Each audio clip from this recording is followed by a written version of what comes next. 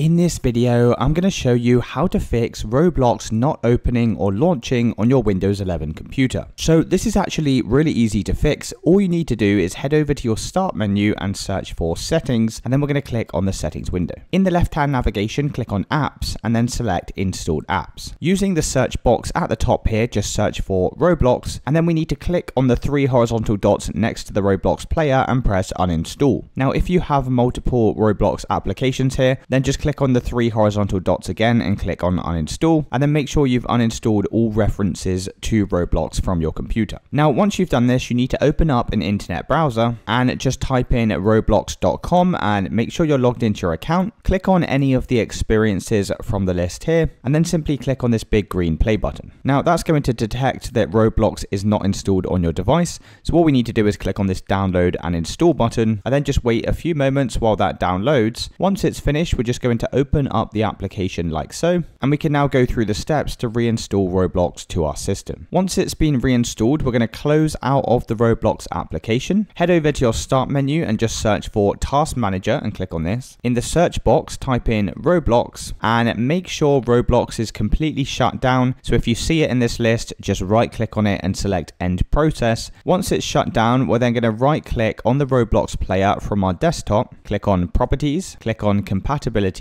and select run this program as administrator and press apply and OK. And you can now try double clicking and launching up the Roblox player and that should have now solved your issue. If it's still not working, another thing you can try doing is heading over to your start menu and searching for Microsoft Store. In the search box, just type in Roblox and hit enter and then click on this top one here which is Roblox and then we'll just need to press this blue install button to download it to our device. Once it's finished installing, you should be able to open up the application directly from here, and that should have now solved your issue. If it's still not working, the final thing to do is to make sure you do not have MSI Afterburner or the RivaTuner application installed or running on your computer. If you have either of these applications, you'll need to make sure you uninstall them, and once you've done that, you'll be able to open up Roblox. So it's as simple as that, guys. If you did find this video helpful, then let me know in the comments, and I'll see you in the next one.